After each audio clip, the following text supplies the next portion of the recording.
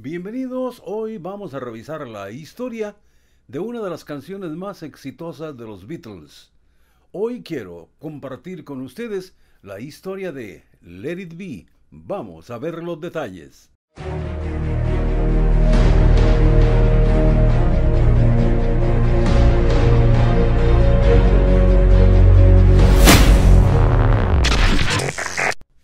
Alrededor de Let It Be se han escrito grandes leyendas urbanas respecto al contenido de la letra. Muchos dicen y han tratado de hacer una relación religiosa, un encuentro con la Virgen María, de acuerdo a lo que dice la letra. De hecho, la canción es un sueño de McCartney con su mamá, a la cual quería mucho y extrañaba todavía en esos tiempos en que la banda estaba atravesando uno de sus peores momentos porque ya habían grandes divisiones internamente.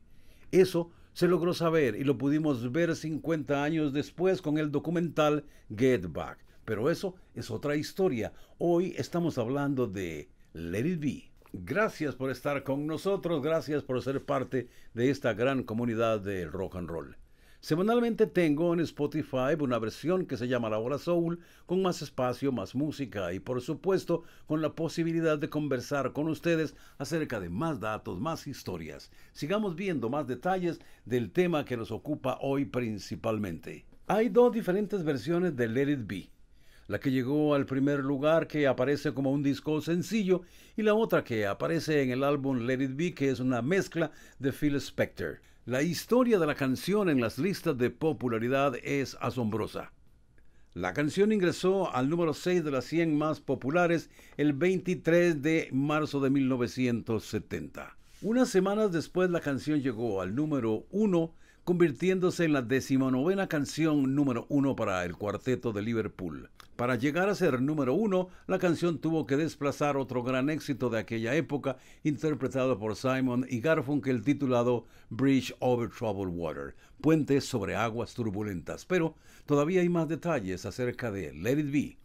Estando en el estudio no se reflejaban los problemas que internamente afligían a la banda. Let It Be salió al mercado como cara A de un disco de 45. En la cara B había un tema titulado You Know My Name, Look Up the Number.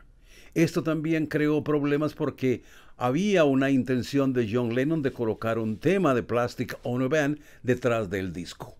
Así que hubo grandes problemas, aunque finalmente se solucionaron y el disco salió al mercado tal como ellos lo habían planeado. Let It Be y You Know My Name. De las leyendas urbanas surgidas a raíz de la canción y parte de la letra, lo único que se puede rescatar con el tiempo es que el sueño de McCartney con su madre fue déjalo ser, let it be. El sueño de McCartney con su madre tal vez fue una premonición, un aviso para que dejaran las cosas sucederse como estaban pasando en el estudio y en la vida privada de los cuatro de Liverpool.